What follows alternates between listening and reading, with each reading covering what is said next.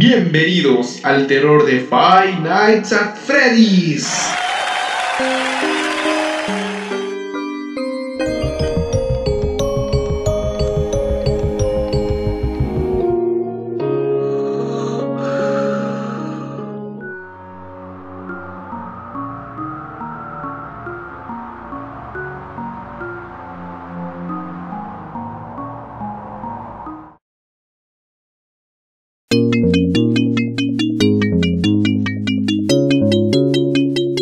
Nights Freddy's, Help Wanted, es después de Sister Location, el juego más ambicioso de la franquicia, pues fue el primero que salió de la estigma de juego independiente. Con la colaboración de Steel Blood, Scott Cawthon nos trajo una recopilación renovada de casi todas las experiencias de la saga, desde el tétrico Fazbear del primer juego, hasta los pasillos llenos de nuevos amigos de la cuarta entrega. Pero este juego no solo nos devolvió lo viejo, sino que también incluyó mucho contenido novedoso y original, desde experiencias, eventos que sirven de puente entre los juegos, y sobre todo, algo que no nos esperábamos después de la aparente conclusión de la saga, una historia canon, que trajo en esencia de nuevo a su antagonista principal, que ahora además de revelarnos una apariencia distinta pero al mismo tiempo familiar, hacía gala de una historia de fondo muy compleja, relacionada al regreso de una compañía maldita, y una programadora que registró todo lo que pudo, por temor a que un virus no sea eliminado.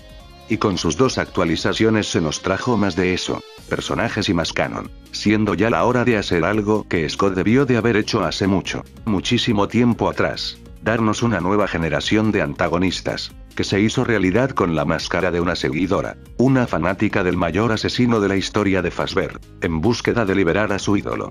Luego tuvimos, Special Delivery, que aunque en la mayoría del contenido no aparenta ser canon, realmente, hay detalles, y pistas, que no nos dan esa sensación, sino que, parecen desarrollar a alguien. Con estos dos juegos, se nos ha dejado una puerta muy abierta, donde ya no solo puede entrar un homicida como antagonista, pueden entrar dos. ¿Pero quiénes son ellos? ¿Qué significan estos juegos para la saga? ¿Esto es una extensión del final o un nuevo inicio? Pero la pregunta más importante, ¿cuál es la historia aquí? Ya hace casi un año hice cuatro teorías, pero después de todo esto, las cuatro han quedado sumamente obsoletas. Sin embargo, la más importante, la he vuelto a replantear conmigo mismo, y he unido todas las nuevas pistas, para por fin tener una hipótesis final, una teoría, que explica todo lo introducido en la nueva etapa de FNAF, y que me complace presentarles hoy. Mis terroríficos. Les enseño. ¿Quién es Glitchtrappy, Vanessa? La historia de Five Nights at Freddy's Help Wanted y Special Delivery. Comencemos. Para entender mejor todos mis argumentos, voy a dividir el video en tres partes. Glitchtrap, Vanessa, y la historia. Vamos con el primero. Para entender la historia de Help Wanted y por consecuente la de Glitchtrap, necesitamos repasar los eventos. El juego empieza explicándonos qué es este lugar en el que jugamos. Nos presenta una experiencia de realidad virtual desarrollado por Fazbear Entertainment, que tiene como motivo, desacreditar viejas y ridículas leyendas urbanas de la compañía. Seguido a eso se nos deja en la sala de menú, y empezamos a jugar. Al pasar de los niveles que simulan el restaurante de los 90 en FNAF 1, la pizzería del 87 en FNAF 2, la atracción del horror de 2017 en FNAF 3, pasillos viejos en Dark Rooms, una casa conocida en Air Terrors, conocer mejor a viejos amigos en Parts and Service, y reparar uno que otro conducto en Ben Repair, pero en todos ellos, siempre habrá algo especial, algo que tarde o temprano nos damos cuenta que están ahí, las cintas, que las vamos recolectando por todo nuestro progreso, nos permiten entrar a un cuarto nuevo, en donde, al oírlas nos habla una chica, sobre el desarrollo del juego, y sus consecuencias para los empleados. Entre los eventos más importantes, nos presenta que en una ocasión en donde se probaba el juego, encontró un extraño individuo, un personaje que al parecer no fue creado por los programadores, sino que tenía una especie de conciencia propia. Seguido a eso, nos presenta a Jeremy, un beta tester del juego, que después de relacionarse de alguna manera extraña con el personaje misterioso, se empezó a notar un cambio total en su actitud, y sobre todo en su apariencia, pues después del incidente, cada vez se veía en un peor estado físico, no dormía, tenía ojeras, estaba pálido, e incluso a veces perdía el subconsciente. siendo que esto alarmó a la empresa de Fazbear. Empezaron a buscar razones para despedirlo, por cualquier cosa, con tal de deshacerse de él, siendo el tiro de gracia que les permitiría esto. La noche en la que él nunca se fue de la oficina por probar el juego, y la chica que nos habla lo encontró lleno de tinta. Después de lo sucedido con Jeremy, ella relata que tomó su lugar como beta tester. Con ello, obtuvo mucha más información del desarrollo, siendo que llegó a encontrar que el origen del misterioso personaje fue resultado de escanear unos discos duros demasiado extraños, que venían adjuntos con información de que el juego que aparentemente está creado para desmentir rumores de la empresa. La verdad es que no es así pues de eso ya se encargó un pícaro desarrollador independiente, que con sus juegos logró mostrar y desacreditar lo que pasó, siendo que Help Wanted tiene otro propósito. Sus últimos registros cuentan que en su desesperación por detener al personaje tan misterioso, logró programar el cuarto en donde la escuchamos, y romper su código para dividirlo en las cintas que recolectamos pero dándose cuenta de que no podíamos detenerlo por completo, investigó hasta el cansancio el método de destruir esta cosa, descubriendo que sea lo que sea, su conciencia propia tenía el deseo de escapar, tomando el cuerpo de alguien. Sin embargo, no contaba que la chica logró hacer que el menú del juego fuera un aparato para destruirlo por el jugador. Una vez escuchado todo sobre esta chica, al realizar el procedimiento que ella nos indica, terminamos en un cuarto con el ente, y al parecer, logramos expulsarlo del código a través de la oscuridad. Acabando la primera etapa de Help Wanted. Próximo a eso llega la actualización de Halloween, en que en su último final, tuvimos una especie de laberinto, en donde el objetivo no era escapar, sino llegar a encontrar una máscara, que al combinarla con un peluche que nos dejó nuestro misterioso enemigo ya extraviado, se puede escuchar otra voz, pero que esta vez, parecía comunicarse con alguien cerca de nosotros. Para finalizar, espero la actualización de Navidad, que permite por primera vez, un gameplay sin la necesidad de cascos. Y además, se muestra que al parecer el personaje principal, al final, puede salir. El edificio, tiene una salida, un sinónimo de, libertad. Ya visto todo eso, necesitamos ubicar este juego cronológicamente con los demás, para llegar a saber qué puede significar todo esto. A ver, Después de repasarlo bien en mi mente, tienen que ustedes ahora despejar la suya para lo que voy a decir. FNAF Help se desarrolla desde inicios de 2018 y mediados de 2019, un tiempo paralelo al de su desarrollo y publicación en la vida real, siendo que es una secuela de FNAF 3 y precuela de Pizzeria Simulator. Así que para la gente que piense que esto está al final de la línea temporal, tengo dos pruebas de que no. 1. En este juego no se presenta ningún contenido de Pizzeria Simulator, más que dos personajes. 2. Estos dos personajes son Helpy y un peluche de Scrap Baby, pero para ellos dos hay una explicación clara y legítima. Helpy no es que nació en Pizzeria Simulator, ya que aquí no se nos dice nada de su construcción, sino que él viene con el paquete inicial para crear una pizzería de Fazbear, y esto lo compruebo porque como su nombre lo indica, él sirve para ayudar. Y es lo primero que nos dan al iniciar el juego, el ayudante de Fazbear Helpy, y el peluche de Scrap Baby, tiene su razón no en los juegos, sino que para eso utilizaremos esta wiki glorificada, en la imagen más importante en su momento y la imagen que nos sirve ahora, nos muestra una imagen de Scrap Baby, esta es la primera imagen de Scrap Baby que tenemos en el canon, y la cual está archivada en los documentos denominados los expedientes de Freddy's. Eso quiere decir que Fazbear, solo tenía conocimiento de Baby para el momento en que salió este juego, y por lo tanto, quiere decir que no quieren encubrir nada del restaurante de los Rockstar porque no ha sucedido nada todavía. Ya sabido que este juego está antes de Pizzeria Simulator, pero después de FNAF 3, tenemos que descubrir el puente de los eventos del juego y FNAF 3. Y aquí es donde entra la sinopsis de Special Delivery, que para mí, se desarrolla como una precuela de Help Wanted, pues en este se nos cuenta que Fazbear ha vuelto después de tantos fracasos, y que ahora este se dedica en la creación y manufactura de animatrónicos. Entonces, Fazbear volvió, pero ¿cuándo exactamente?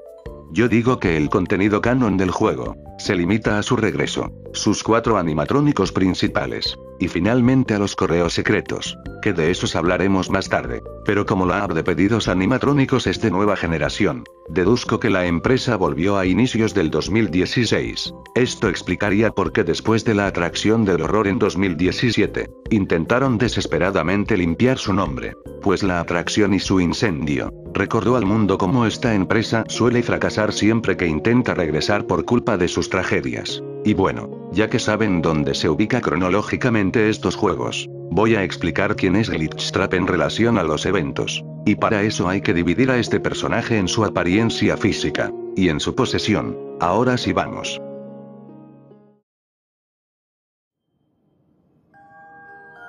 Aunque no lo crean, en sí, Glitchtrap no es del todo un virus. Pues la apariencia física que tiene sí está programado en el juego, esto lo sabemos ya que el final oficial del mismo, se ve a este personaje, sin esa aura tan rara que lo rodea, y sobre todo, de manera clara, que obviamente significa que los creadores de este juego, lo querían poner ahí a propósito. Pero bueno, entonces, si la apariencia de este personaje sí está programada, y aparece en este juego, ¿qué significa esta apariencia? Pues todo indica que estamos enfrente de Spring Bonnie de la generación 0. ¿Pero qué es esto de la generación 0?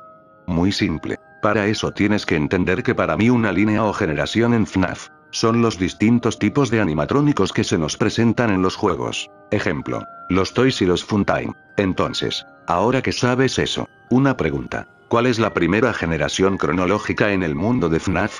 Todos concordaremos con los Springs, que se conforman de Fredbear y Spring Bonnie. Pero antes no nos podíamos plantear si había algo antes de estos dos. Pero ahora, este conejo nos confirma que sí, pues debido a sus características físicas, podríamos estar hablando de que este es el boceto o borrador de cómo querían que se viera Spring Bonnie en sus inicios. Y esto se ve en los rasgos y diferencias que comparten, como el característico color dorado, y las decoraciones que tiene en el pecho como botones y una posible corbata de moño, y sus diferencias que declarar abiertamente, que este traje no era un Spring, sino que era una botarga convencional, pues presenta diferencias como la falta de las divisiones en partes, la cabeza sumamente más caricaturesca y grande, las proporciones y el ajuste del traje al cuerpo, y obviamente, los movimientos que eran sumamente limitados en un sprint, son fáciles de realizar para este traje, pues al no tener el sistema de endos, no corre ningún riesgo o limitación, pero bueno, con las pruebas sobre la mesa y ya entendido que esta cosa es un borrador de Spring Bonnie, vamos a lo que todos se preguntan. ¿Por qué esta generación estaría dentro del juego? Aquí la respuesta es un poco más difícil de entender, pero necesitamos empezar de nuevo con una pregunta. ¿Cuánta gente mató William? Algunos han de decir 5, otros 7, otros se han de mamar con 11, y habrá un loco que se meta el 16. Pero por lo que sabemos realmente, puede ser de decenas. Así es, una cantidad exorbitante de gente. Y como respaldo esto, muy simple. Primero, este tipo está loco. Segundo, este tipo es un jodido genio. Tercero y el más importante, la muerte más importante es la de Charlie, ya que ella se convertiría en la única alma que es capaz de hacer que otra alma posesione a un animatrónico, siendo que este sería el punto de inflexión para los asesinatos de William. Sin embargo, antes de ello, si pudo matar muchas, muchas veces, y la prueba es este traje, pues si él usó alguna vez una generación anterior a la de Fred Bears, es porque empezó desde ahí, y como poco a poco esta generación era reemplazada por la de Fazbear, él pudo cambiar al traje de los Springs, dando lógica a los asesinatos con él, pero también dejando ese hueco, en el que falta el traje con el que podía matar sin que los niños lo reconozcan, en el restaurante del oso dorado, y es por eso que el traje está programado en el juego, porque cuando llegas a su final, a lo último, podemos apreciarlo detrás de una cortina, llamando a sus víctimas que de seguro, son otra cosa que Fazbear necesita encubrir. Ya que la apariencia de Glitchtrap es un boceto de Spring Bonnie con el que William asesinaba en la época de Fred Bears. Ahora solo queda la cuestión, ¿de qué? ¿Cómo se consiguió este traje? ¿Y en dónde ha estado todo este tiempo?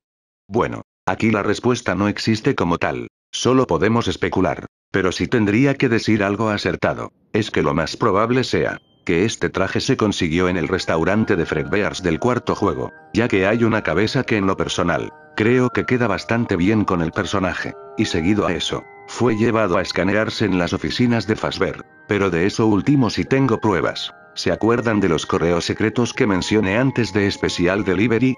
Pues en uno de ellos se menciona explícitamente que se encontró un traje, y que después de escanearlo, empezaron a suceder cosas muy raras, siendo que esto está relacionado a la otra parte de Glitchtrap, su conciencia.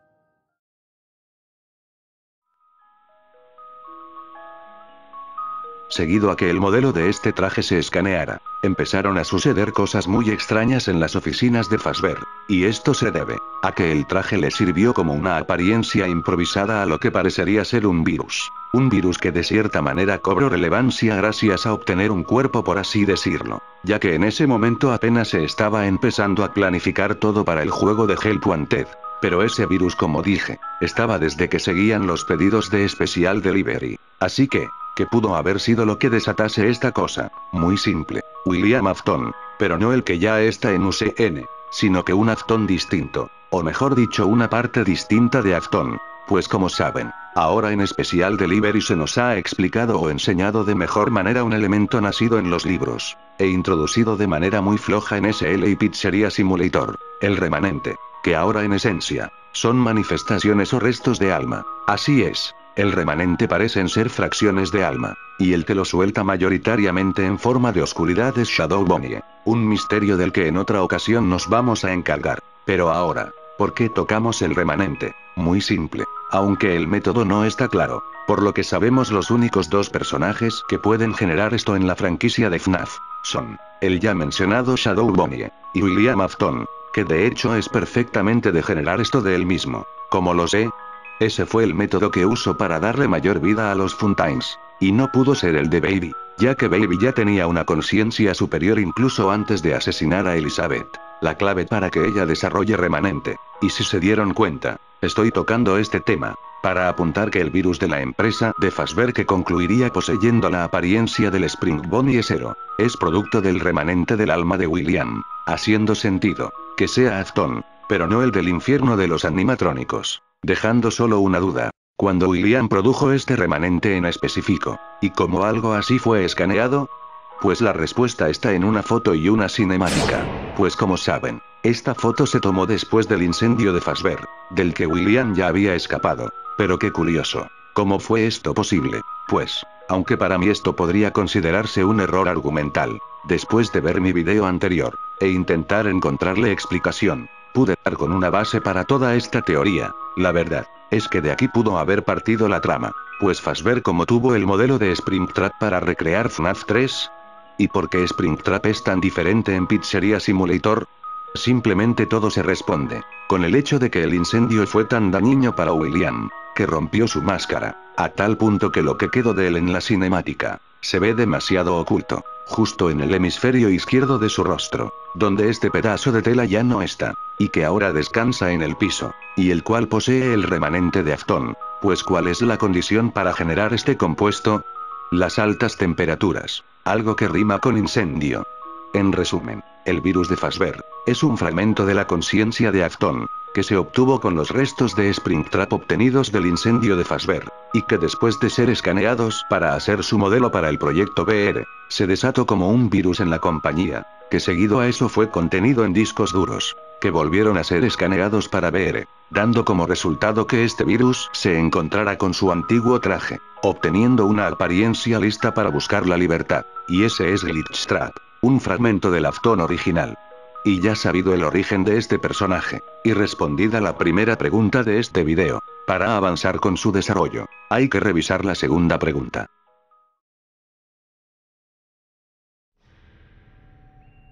Como dije, en determinado final, llegas a poseer una máscara en Help Wanted, una que combinada con un recuerdo que nos dejó nuestro conejo, podemos escuchar a una chica, que en vez de ayudarnos a entender qué es este virus como nuestra compañera anterior, esta parece ignorarnos y empezar a hablar con alguien más, alguien a quien le tiene mucho respeto, alguien a quien está invitando a divertirse con ella. Esa chica, ¿quién era? No podía ser la anterior, porque ella desaparece por completo, ya que su único objetivo era erradicar al virus del juego, y esta le habla a él. Ella intenta comunicarse con Glitchtrap después de que lo hayamos expulsado a la oscuridad. Sin embargo, es como si ella supiera quién es. Y más importante, parece que sabe que sigue en algún lado. Pero ¿quién puede ser esta chica? Y aquí es donde los correos secretos de Special Delivery brillan más. pues en tantos que la mayoría son solo paródicos o hablan de la presencia del virus que hay en la compañía, que ya expliqué. Hay unos muy específicos, que hacen referencia a una tal Ness, una chica, que se nos explica de varias maneras que es un tanto singular por así decirlo, ya que aunque es una empleada de Fasber, parece que en vez de realizar su trabajo de manera habitual, se ha estado comportando de manera muy extraña y malévola, pues parece realizar búsquedas en Internet que van desde métodos de tortura, hasta temas de cultos y sectas. Algo que lógicamente alarma a sus superiores ya que ella no parece actuar así a propósito, sino que posee un desorden de personalidad, ya que a veces puede buscar cosas agradables, y otras muy extrañas. Y bueno, si esto es así, ¿cómo consiguió empleo? Pues al parecer de esa respuesta solo podemos especular. Sin embargo, que alguien así esté coincidentemente en un trabajo de Fasber, teniendo esta clase de problemas mentales, no parece ser probable. Así que la pista lógica, que llevaría a combinar a estos dos elementos, se trataría de alguien que quiere aprender del hombre de morado, pues, como ya he explicado, este tipo es un bendito genio para las masacres, y tal como en la vida real, aunque estas personas sean consideradas como criminales y lo peor del mundo, aún así, estas personas dejan un legado, pues como tal crearon su trabajo de asesinos, y eso es material de culto para muchos, y entre muchos cabería muy bien esta chica. Pasando el tiempo, y dejando de lado su trabajo en el servicio de entrega de Fasber el cual se basa Special Delivery, lo más probable es que ella se haya podido involucrar en el proyecto de Help Wanted, y ahí viendo todo lo extraño que empezó a pasar después de escanear al Spring Bonnie Esero, comenzó a interesarse más y más con el proyecto. Un proyecto, que sería cancelado. Así es. Para la historia de FNAF Help Wanted nunca salió de la empresa, ya que aunque se creó bajo la excusa de encubrir todo lo que pasó, realmente vistos los efectos que dejó el virus en Jeremy, sabían que lo mejor era desviarse de eso, y dejar el juego en la oscuridad, y al virus olvidado con él, o eso hasta que, llegó Ness que con ella vivimos la historia de Help Wanted. Ella es quien prueba el juego por primera vez. Y es ella quien logra expulsar a Glitchtrap en la oscuridad. Esto lo hizo, para poder comprimir su conciencia en el peluche que ganamos al final. Y después de eso, empezar a trabajar en la actualización del juego, bajo el permiso de Fasber, ya que ella decía que era capaz de eliminar el problema y además proporcionarle contenido al juego. Y eso hizo. En la actualización de Halloween, Vienen más personajes y más contenido desarrollados por ella. Y al finalizar una máscara que ella creó para sí misma, siendo que con ella se pudo comunicar con el virus que se hallaba en el peluche.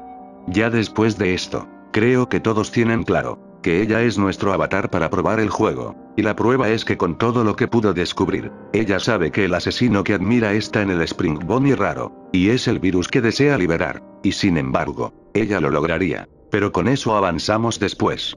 Pues ahora ya saben quién es Ness. O debería decir, Vanessa, la seguidora de la máscara, y quien empezó como una empleada mal de la cabeza de Fasber, llegó a encontrar a un fragmento de su ídolo, el mayor asesino de Fasber, que ella deseaba liberar.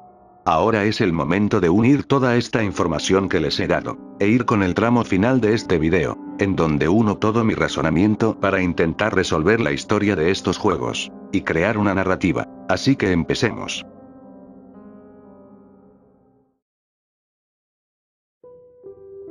Casi dos décadas desde que el restaurante de Fasber cerrara, la empresa a inicios del 2016 intenta retomarse, ahora con un enfoque distinto al de los restaurantes. Ahora su especialidad era la creación y manufactura de animatrónicos, y creando el departamento de envíos de Fasber, por el cual socios de la compañía podían pedir animatrónicos, siendo las cinco opciones, un endoesqueleto vacío, Freddy, Bonnie, Chica y Foxy. Esto da buenos resultados desde que inicia. Sin embargo, en el año 2017, se empieza a crear por parte de un aficionado acaudalado, una atracción de horror de Fasber, algo que aunque la empresa en su inicio, empezó a ver una ventaja, para que la gente lo vea como una publicidad para los animatrónicos. La verdad es que cuando se inauguró no parecía dar el efecto deseado, pues el peor error que cometió este lugar, fue enfocarse en la maldición, de los animatrónicos y su asesino, que dejó un legado de tragedias y masacres. algo que la compañía veía muy perjudicial para la marca.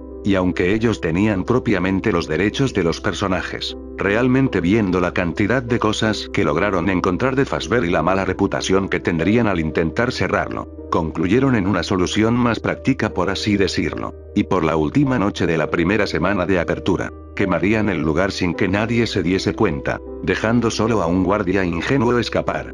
Eso daría un resultado positivo, siendo que ahora el creador de la atracción perdió interés. Y puso todo en subasta. Una que aprovechó Fazbear para hacerse con los restos. La caja de los toys. Y principalmente, un pedazo del animatrónico de Fred Bears que lograron encontrar para la atracción. Que iban a usar para escanear y desacreditar el local en un proyecto que iban a iniciar el próximo año. FNAF Help Wanted sin saber que en el interior de estos restos aguardaba un fragmento de alma, remanente proveniente del cuerpo de William Afton.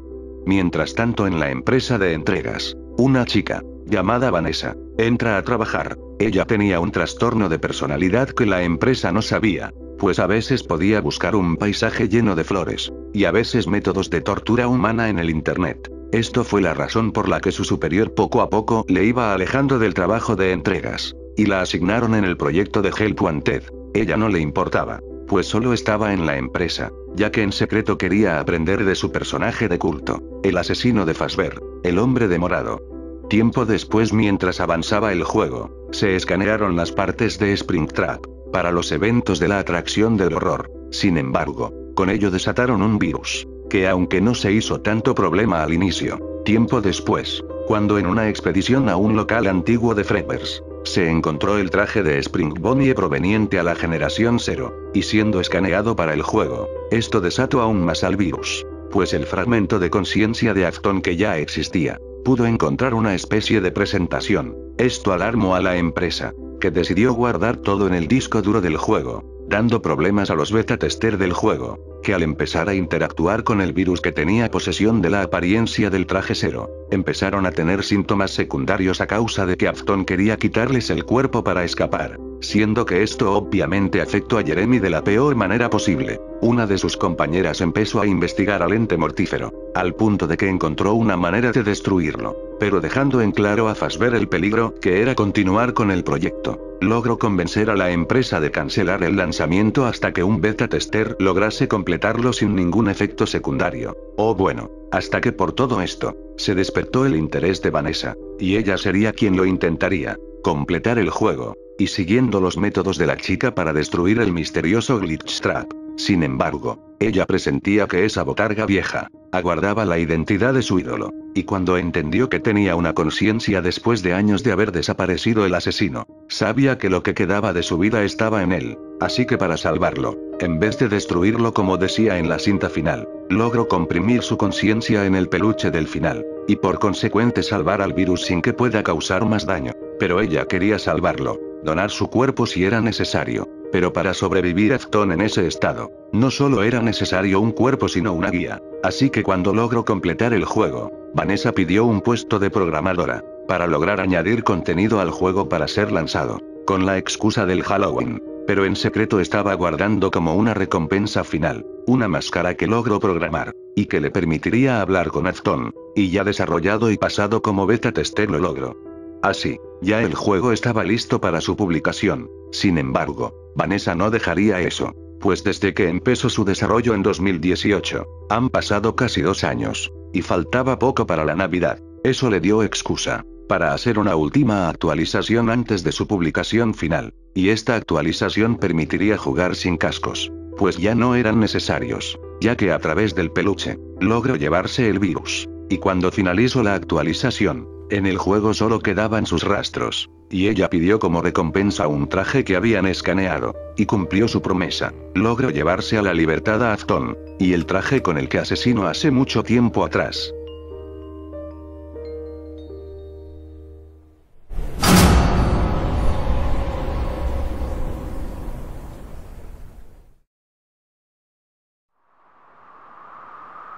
Lo extraño, es que ella con la parte de la conciencia de Afton que tenía, no sabía claramente qué hacer. Pero entonces, se enteró que estaban haciendo un nuevo Gran Fazbear, y que se iba a inaugurar en el año 2020.